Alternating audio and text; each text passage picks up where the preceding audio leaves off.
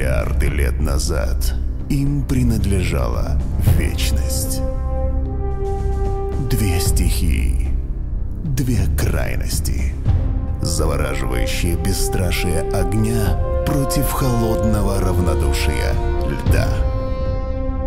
Но однажды их силы слились в мощном вихре, и зародился могучий кристалл, сила которого была скрыта от глаз людских веками.